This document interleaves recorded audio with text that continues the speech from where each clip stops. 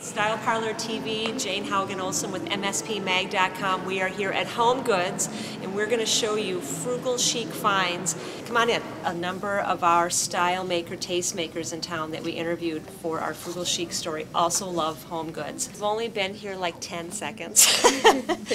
and we really like these. Got that great graphic print on them. It's pretty much tone on tone, so it's not too loud.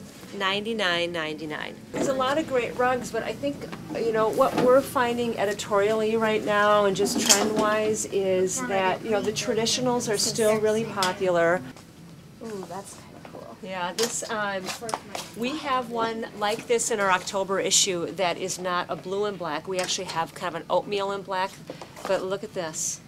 Hundred and ninety dollars. Originally $800. I think we both um, like original works and we like vintage pieces. So you have to really go through here, I think, with a mindful eye. If you didn't like this print, often um, buy it just for the matting in the frame because this is $25. This one's kind of beat up, but you might find um, over here if you've got a great poster, vintage piece, maybe even a family photo that you had blown up and you want to um, frame it, just the matting and the frames alone are, are worth it. I did Yeah. a trend alert on the quatrefoil, gosh, now like a year and a half ago. It's based on Moorish architecture, so it's something that's never really going to go away.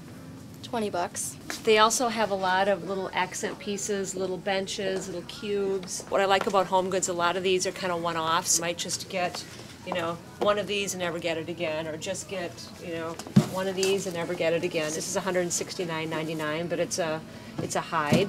These would be kind of cute in the Aren't those girls' room as cute? well. If you had like kind of like a little Parisian themed uh, powder room or something like that, or a woman's dress on a woman's dressing table. Forty dollars really each. smart. Those that kind of remind me of Thomas Paul fabric. Right. This kind of gourd shape is awesome. um, really modern. Seventy dollars each. This is very Martha Stewart Yeah, feeling. isn't it? I love that. Sixteen ninety nine. Salad plates for Thanksgiving and just jazz up your table, nine ninety nine. Wine glasses, you can never have enough.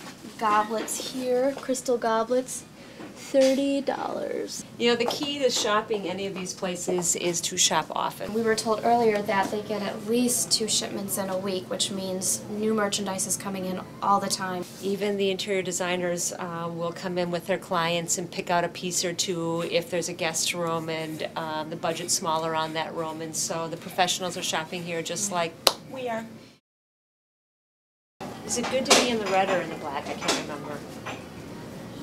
I think it's good to be in the green.